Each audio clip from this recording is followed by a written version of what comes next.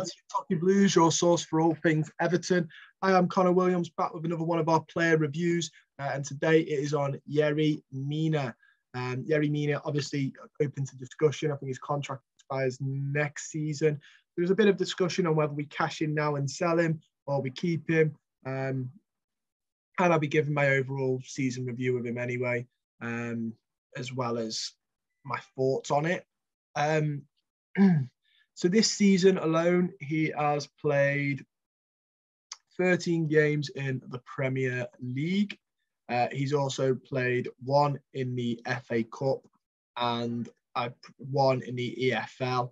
Um, obviously, both Frank Lampard and Rafa Benitez uh, heavily rotated squads. Um, so we'll have a look at his stats for the Premier League this season. Uh, he started 11 of those games, was subbed, only subbed in for two, was subbed out for three, played about 846 minutes. Uh, three yellow cards. Apologies. Uh, yeah, he got three yellow cards, no red cards, which is quite good. Um, total passes 356. Uh, he's attempted 12 tackles, won 10 of them, so his tackle percentage is very good this year. 37 clearances, 11 interceptions. Um, overall, he's had a good. Um, those stats suggest he's had a good season. Um, the best game I think I've seen him play this season was going to have to be Chelsea. Um, I believe the Leeds game was, it might have been last season, the Leeds game, otherwise I'd have said that, uh, where he's marking Bamford. If it is this season, I apologise, this season's been very long. Um, but if it's not that Leeds game where he marked Bamford all game and frustrated Bamford, then it's probably the Chelsea game for a similar reason. He absolutely drove Havertz wild.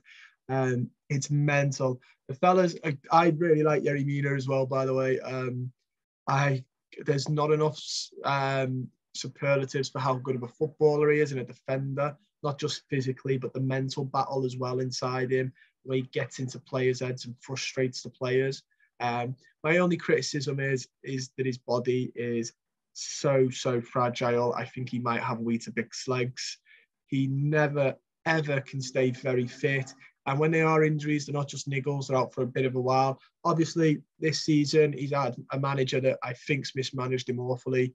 When Rafa Benitez brought him back from injury, had a spite because he didn't want to use Lucas Digne as a substitute. That was horrendous, and Yerry Mina ended up paying the cost for a stubborn manager. Um, so he has my, you know, sympathies for this. But but Yerry Mina's injuries didn't just start this season. They didn't just come in with Rafa Benitez. They won't leave with Rafa Benitez. He, I do believe he is prone to injury. Um, and it's such a shame. For that Chelsea game I'm on about, he got two blocks, four clearances, three headed clearances, one interception, five recoveries. Uh, he won all of his ground duels, won half of his aerial duels, um, which you'd hope he would at the size he is. And he was actually fouled three times, but committed zero fouls. Bearing in mind, like I said, he was up against Havertz and he kept Havertz so quiet all game. Um, it was absolutely wonderful to watch. Um, it's just his body, isn't it? It's such I absolutely hate um, going about him like like saying his body's injury prone and stuff, but it is because he'd be such a great player without, and he's a good player. We want him, to, you know. I think Duncan Ferguson's made him captain in that Villa game. I really want him to be that leader. Uh, he did play well in that game as well. I really want him to be that leader. Um, but my but like how can you lead from the medic table? You've got to be out there with them, sort of, you know, out on the trend in the trenches with them, and you can't do that from the side. He was also a massive personality. You saw that tunnel cam where they're all waiting for him. He seems to be a lovely fella that everyone absolutely radiate. You know, he radiates good energy, and everybody bounces off him. Richarlison and him have got quite the relationship, quite the friendship as well, which is nice to see. Um, I really like him. Uh, this season, I'm going to give him. Uh, it sounds a bit. I'm bearing in mind the season we've had. I'm going to give him a seven um, just because when he's been fit, he's been very, very good. I'd probably give him a 7.4 if we're doing points. Uh, but I'd give, I'll give him a solid seven. The games I've seen this season, uh, I would say he's in his sevens for a lot of them. There's only a couple of games where I thought you've been below par. After that, he's, he's mostly been a solid sevener.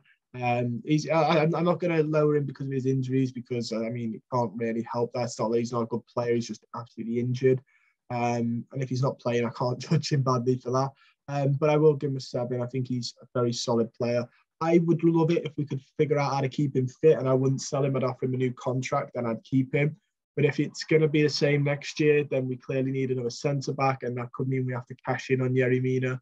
Uh, I'll be gutted to see him go, but um, I do think that he's not the only uh, really good defender. He is a really good defender, he's not the only one. And if he's not reliable, then it's going to be a struggle to, you know, for a player of his caliber and ability, you, want to be dependent on players of that high of an ability, and he's just not dependable.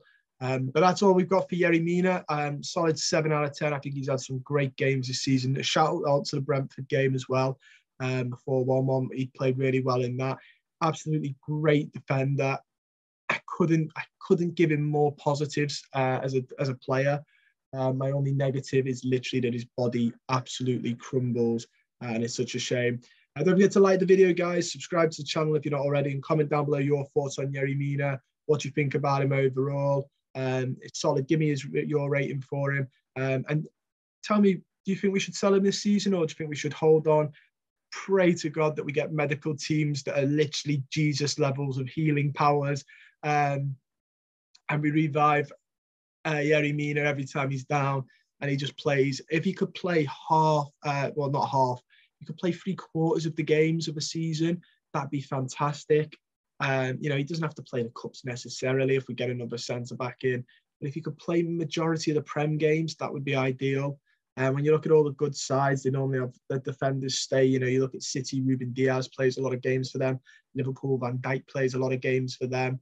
Uh, they're the stalwarts in that defence, um, unless they're injured. Uh, but you can see when they're not playing uh, how much more they lack it. And Yerry Mina's our sort of big, solid man, but he's never fit. But yeah, like I said, let me know your thoughts down below, and I'll see you guys very soon.